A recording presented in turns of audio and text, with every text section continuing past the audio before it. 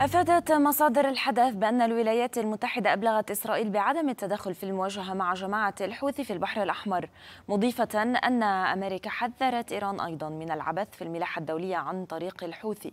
وأكدت المصادر أن زيارة وزير الدفاع الأمريكي لويد أوستن إلى المنطقة هي بمثابة رسالة تحذير لإيران.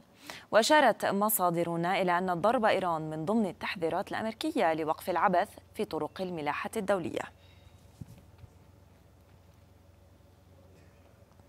وفي تواصل لهجمات الحوثي على السفن في البحر الأحمر أعلنت هيئة تابعة للبحرية البريطانية أن قوة بحرية متعددة الجنسيات أحبطت هجوما بخمسة زوارق على سفينة شمال غرب جيبوتي. وكانت هيئة عمليات التجارة البريطانية كشفت عن تعرض سفينتي شحن تجاريتين لإطلاق نار قبالة سواحل اليمن الغربية. وأوضحت الهيئة البريطانية أن انفجارا أصاب إحدى السفن قبالة ميناء المخا فيما هاجم مسلحون سفينة أخرى شمال غربي المخا وأجبروها على تغيير مسارها مؤكدة بأن السفينة وطاقمها في أمان حاليا. وتبنى الناطق العسكري لميليشيات الحوثي تنفيذ الهجومين بطائرات مسيرة ضد السفينتين. وكان مسؤولان أمريكيان كشفا في وقت مبكر اليوم عن تعرض سفينة في جنوب البحر الأحمر لهجوم بمقذوفات تم إطلاقها من مناطق سيطرة الحوثيين. المسؤولون الأمريكيون قالوا إن المدمرة يو إس إس كارني استجابت لنداء استغاثة من سفينة تحمل سوان أتلانتيك عقب تعرضها للهجوم. تأتي هذه الهجمات بعد شهر من إعلان الحوثيين حظر مرور جميع السفن المتجهة إلى الموانئ الإسرائيلية في حين تنفي إسرائيل علاقتها بالسفن المستهدفة. قال وزير الدفاع الأمريكي لويد أوستن إن بلاده ستقود قوة بحرية متعددة الجنسيات لدعم حرية الملاحة إلى البحر الأحمر مشددا على ضرورة وقف دعم إيران لهجمات الحوثيين على السفن التجارية. في البحر الأحمر نقود فرقة عمل متعددة الجنسيات لدعم المبدأ الأساسي المتمثل في حرية الملاحة. يجب أن يتوقف دعم إيران لهجمات الحوثيين على السفن التجارية. سنواصل تزويد إسرائيل بالمعدات والأسلحة اللازمة بما في ذلك ذخيرة الحية والمركبات التكتيكية وأنظمة الدفاع الجوي. وسنواصل دعم مهمة إسرائيل في تحديد مكان جميع المختطفين وإطلاق سراحهم.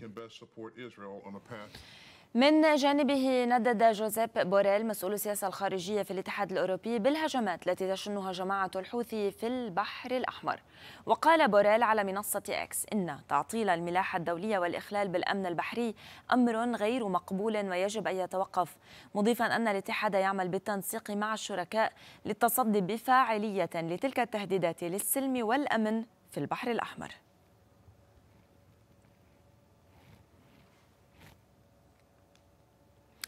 ومن الرياض ينضم إلينا العميد ركن محمد الكمام المحلل العسكري والاستراتيجي اليمني.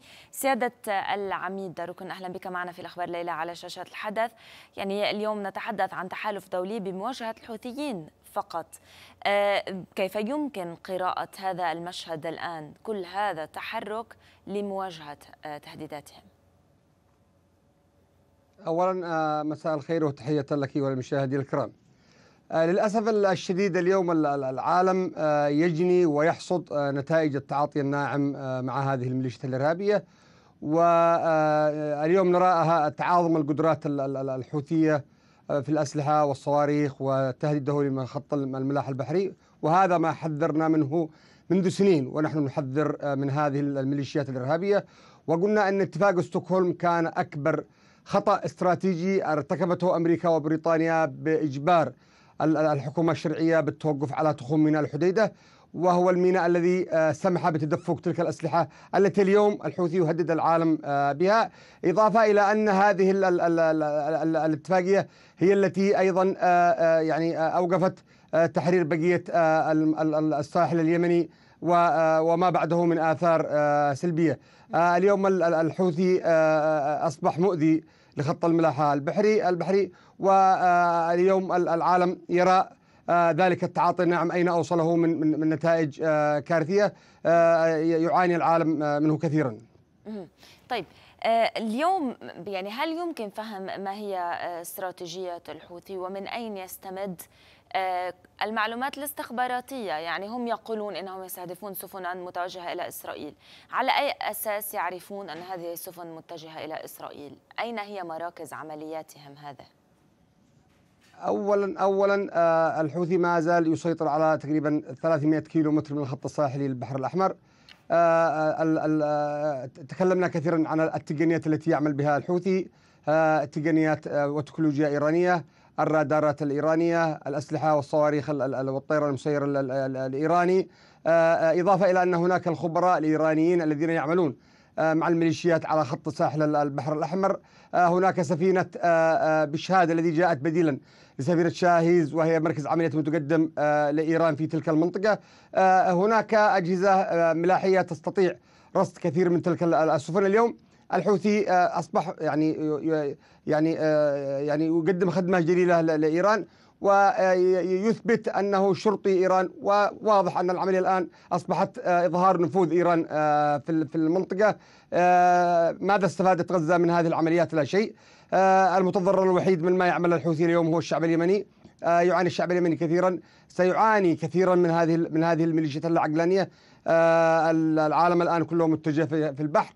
وهل ما عمله الحوثي آه، كان من ضمن المخطط الأمريكي والعالمي للتوجه والتحكم في خط الملاحة بهذا الشكل 40 آه، دولة آه، متواجدة الآن إضافة إلى الوحدات المشتركة السابقة 153 و 152 وهي تعمل منذ سنين في تأمين خط الملاحة البحري. اليوم الحوثي أيضا يعني شكل أذى كبير لقناه السويس ولخط وللدول العربية المحيطة أو المحاذية للساحل ساحل البحر الأحمر. ويهدد خط التجارة العالمي بشكل كبير جدا. آه، يجب على العالم ان ان أن يعمل بشكل آه، قوي لإيقاف آه، هذا العبث وهذا وهذه العربدة في البحر الأحمر. هذه القوة الدولية سيادة العميد ركن يعني اليوم عسكريا هل نتحدث فقط عن أنه هذه القوة الدولية يمكنها أن تمنع الحوثيين من الاعتداء على سفن؟ أو هكذا قوة يمكنها اليوم كذلك أن تستهدف مواقع للحوثي ضمن الأراضي اليمنية وليس فقط المياه؟ أنا بصراحة أشكك في نجاح ال ال ال ال ال هذه ال الوحدة التي ستنشأ إضافة إلى الوحدة السابقة لأنه تأمين البحار عملية مكلفة جدا وعملية باهظة وعملية تحتاج إلى آه، يعني إلى إلى إلى أموال طائلة وهائلة ولو كانت الحدود تحررت وبقيت أموال كان الأمور أسهل بكثير مما يجري اليوم. آه، آه، لن تحقق الضربات كما نعتقد إذا إذا إذا اعتقدنا أو افترض أنها أنها ستكون ضربات لا يمكن أن تحقق اهدافها نتكلم على جماعات ميليشيات إرهابية لا تقل عن القاعدة وداعش على الاطلاق بل أكثر تعمل بنظام العصابات اختطاف سفن إصابة أهداف آه، تجارية أو سفن تجارية على خط المراحه بصواريخ أو طيران مسير يعني قليل التكلفة. يستطيعون ايذاء الاهداف الاقتصاديه الرخوه آه، كالسفن هذه كالسفن التجارية المتحركة. وبالتالي لن لا أعتقد أن هناك ستكون نتائج آه، كبيرة ومحققة في المدى القريب. ولكن آه، سيعتمد أو ستعتمد نتائج هذه هذا هذا التحالف الجديد أو يعني خط القوة الجديدة على مدى التنسيق وتنظيم التعاون وعلى مدى قدرتهم على جمع المعلومات عن هذه الميليشيات الإرهابية سواء آه، في البحر أو على الساحل أو حتى في العمق آه، في عمق الجغرافيا اليمنية التي آه، تستطيع الميليشيات الحوثية أن تعمل من خلالها. كيف كيف سيكون التعاون فيما بين تلك القوات؟ كيف كيف سيتم يعني يعني التنسيق الأمني والحصول على المعلومات هذا ما ستثبته الأيام. هل هناك سيكون هناك فعاليه أم قد تنعكس هذه العملية وتحقق قوة إضافية للحوثي؟ آه، ننتظر ونرى قادم الأيام. شكرا جزيلا لك. ضيفنا من الرياض العميد ركن محمد الكمام المحلل العسكري والاستراتيجي اليمني.